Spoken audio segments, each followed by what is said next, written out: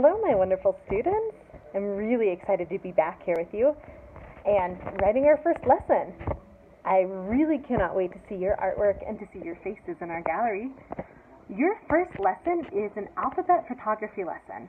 So your challenge is to grab um, a digital camera or a tablet or a phone, anything that has a camera, and to search your yard or your house to look for items that begin with the same letters in your name. For instance, I am Marcus, my last name, so I would use marker for an M. Maybe for an A, I could do an apple.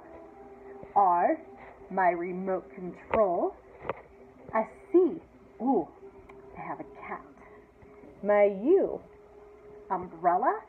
And for the S, I wonder if I can find a snake outside. Hmm, or maybe just a sock.